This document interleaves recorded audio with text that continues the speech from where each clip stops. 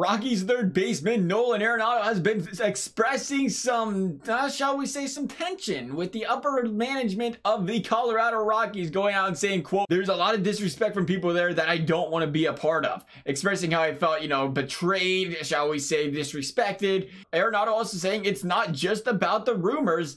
And on this particular case, I, I, I, want to side with Nolan Arenado. Now, I really, I, I'm not usually a big believer in a player going up against management by any form of the imagination here, but the thing is, where where Nolan Arenado gets me here is where he says it's not about the rumors, and of course this is something we can speculate until we see the actual, which will never happen probably, but until we see some actual, you know, talk from what happened from behind the or behind closed doors, we'll never really know the whole situation here. But my guess is if we were to speculate on something like this, Arenado just signed this eight-year deal with the Rockies just here recently, and you look at a guy in Arenado who I'll call the most underappreciated player in baseball because the guy's had 37 plus home runs, 110 plus every RBIs every single year for the last five years. The guy's won seven straight gold gloves. And the biggest surprise of them all, the guy has uh, absolutely zero MVPs to his name. An absolute tragedy to me. I mean, sure, let's let's play. He plays at Colorado. All right, well, let's take Jacob DeGrom Cy Young away because he plays in a pitcher-friendly park in New York. I mean, that's that's the game you're going to play here. I don't think you can look at it this way. I think there's a couple different things you look at from an MVP standpoint. Obviously,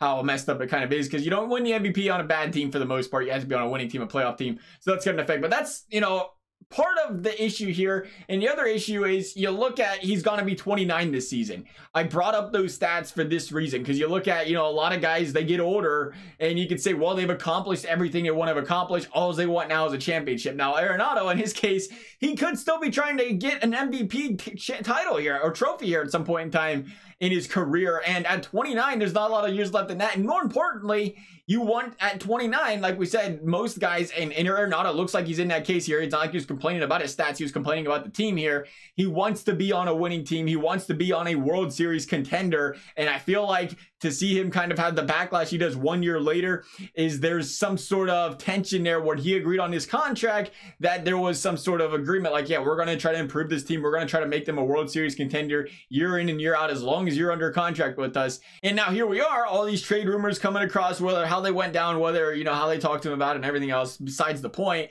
We're getting closer and closer to spring training now and now that the team made it clear they didn't want to trade him and they was you know kind of sitting tight here the one thing you cannot help but miss with this Colorado Rockies team is how atrocious the pitching staff is year in and year out. Sure, that anybody can hit in Coors, so why do they pay all these guys so much money? I've always wondered that. You know, if everybody can hit in Coors, so easy. Why are we not signing? Why do they not sign pitchers to make the team? I, I don't know, beats me, I guess. But regardless, the only team with the worst ERA last year in baseball than the Colorado Rockies pitching staff was the Baltimore Orioles. The Baltimore Orioles, who lost 108 games last season, just to clarify that. So when you look at the offseason and you see the Rockies make no attempt to go out there and sign a pitcher, try to improve the bullpen, try to improve the pitching staff in any form of way, I can see why Arenado's upset. Because at the end of the day, they have all these sluggers in the lineup, but they can only go so far if their pitchers are giving up six runs every single game.